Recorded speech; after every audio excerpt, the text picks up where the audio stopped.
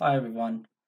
So obviously it's not a pleasant experience when in the middle of winter your boiler breaks down due to the this F75 error and you don't have hot water or heating. Um, but don't panic uh, because F75 is such a common error and I think there is a solution for most of the time to fix this error. So this um, F75 uh, usually occurs due to the pressure or pressure sensor or pressure pump.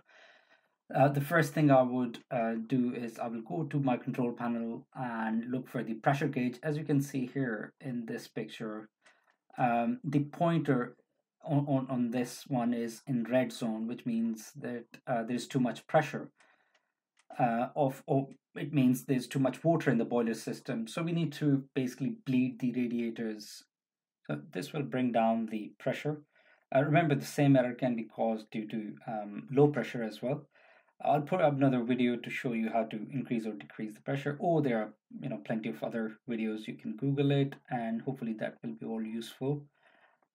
Right, so once the uh, pressure pointer is back into the gray zone, uh, which is normal, then we will move on to the next step. So I will locate the power button uh, for the boiler. So I will switch off the power button for uh, 30 seconds and then switch that back on.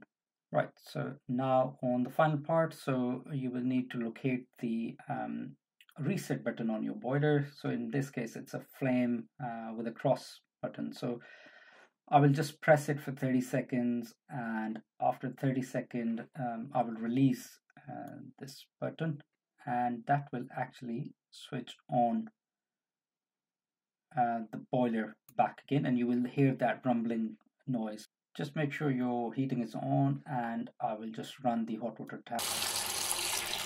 Now if you look at the control panel you will see that the um, boiler has started firing so there's a flame uh, icon there. There's tap uh, running as well as your heating is on. So it looks like the temperature is going up um, which means the boiler is back into the working condition. Right. So one last thing you can do is to test whether your pressure is in order because that's where the the whole problem started with your pressure issue. So you can press this um, minus button on your control panel um, to test where, where your pressure is. So if you just notice after pressing uh, this button, um, straight away another icon will come up. There you go. So yeah, uh, it shows two on my control panel, which is perfect. Um, well, it is recommended this to be uh, the pressure to be between one and three, but yeah, as close to two is perfect. So yeah, I hope this was useful and it has um, saved your you know saved your call out to plumber um, and yeah best wishes.